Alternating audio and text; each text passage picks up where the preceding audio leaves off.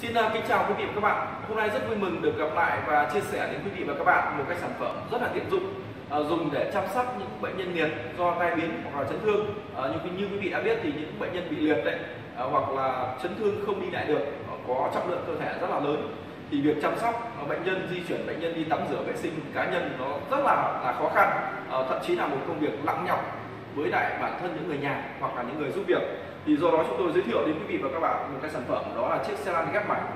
Rất là chắc chắn để di chuyển bệnh nhân từ ghế sofa uh, hoặc là từ giường đi vệ sinh tắm rửa ở, ở trong nhà vệ sinh hoặc là đi toilet rất là thuận tiện. Uh, cũng như là di chuyển bệnh nhân đi chơi uh, đi đến các không gian khác trong gia đình để uh, có thể đọc sách hoặc là tham dự uh, các bữa ăn cùng gia đình. Các bạn thấy đây uh, chúng ta sử dụng chiếc xe lăn này.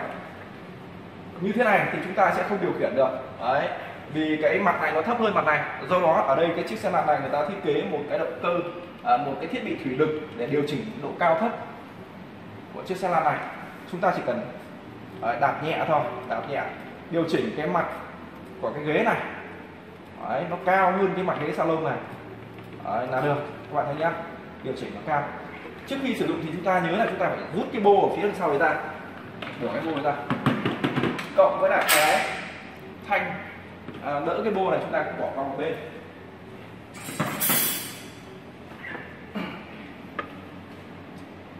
Chúng ta điều, điều chỉnh đến trước mặt bệnh nhân này.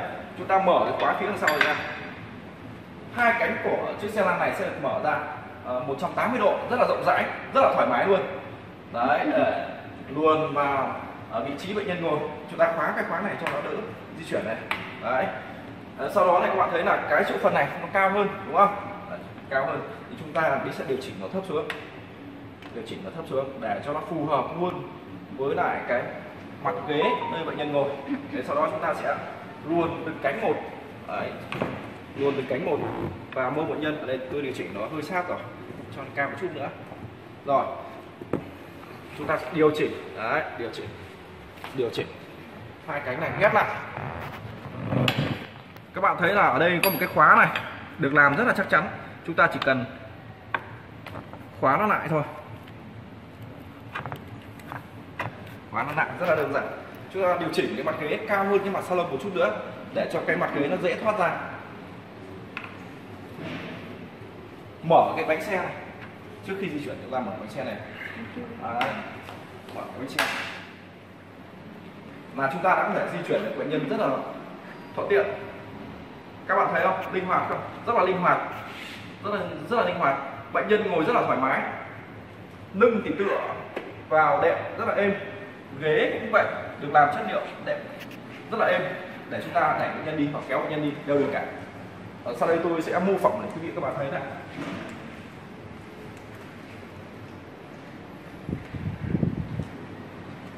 Ở chiếc xe lăn này thì có bề ngang là 55 cm tức, tức là bề bề ngang từ bánh bên này sang bánh bên này là 55 cm do đó cửa nhà vệ sinh của các bạn chỉ cần lớn hơn 55 cm là đã có thể lọt tổng hợp. Đấy, tôi sẽ cầm bệnh nhân qua đây.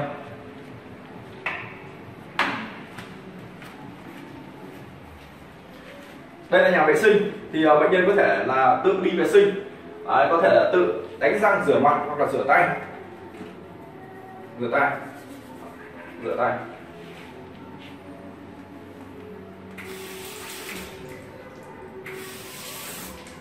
Đó bệnh nhân có thể rửa tay làm các vệ sinh cá nhân. Ờ, hoặc là bệnh nhân có thể là chúng ta có thể tắm cho bệnh nhân bằng các vòi tắm hoa sen như thế này. Hoặc là bệnh nhân có thể tự tắm. Hoặc là bệnh nhân có thể tự tắm. Đấy đây là cả nhá. Rất là thuận lợi. Đó.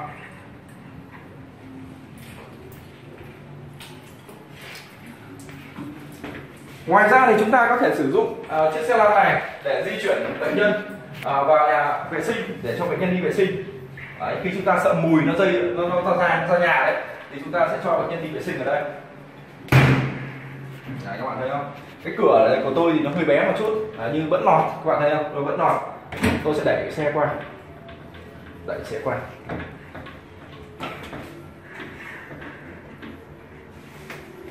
Để bệnh nhân đi vệ sinh ở tại nhà vệ sinh trong gia đình.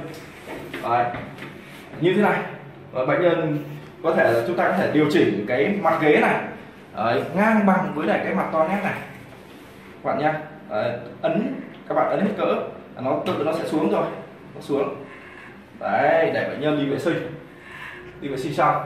Như một bệnh nhân bình thường đấy, như người bình thường đi vệ sinh cảm giác này nó rất là thoải mái cho bệnh nhân. Thế sau khi đi bệnh nhân đi vệ sinh xong rồi thì chúng ta lại điều chỉnh à, đạp nhẹ cái cần này để cho cái mặt ghế nó cao hơn với lại à, cái mặt của cái bền vệ sinh. À, sau đó chúng ta sẽ di chuyển à, di chuyển chiếc xe lăn của chúng ta ra.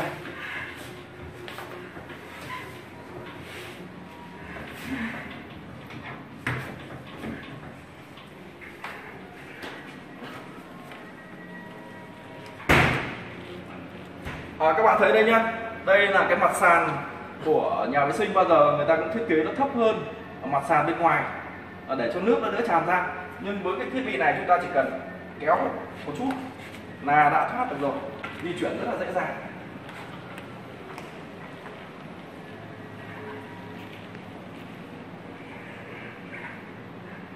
Hoặc là chúng ta có thể sử dụng chiếc xe này để đẩy bệnh nhân uh, đi đến các không gian trong nhà như là đọc sách xem phim uh, hoặc là đi dạo ở ngoài cho bệnh nhân cảm thấy nó thoải mái hơn. À, vừa rồi tôi đã giới thiệu về một chiếc xe lăn à, ghép mặt giúp di chuyển chăm sóc những bệnh nhân yếu liệt. Quý vị và các bạn quan tâm về thiết bị này có thể liên hệ với chúng tôi qua số điện thoại à, để được tư vấn thêm. À, xin kính chào quý vị và các bạn.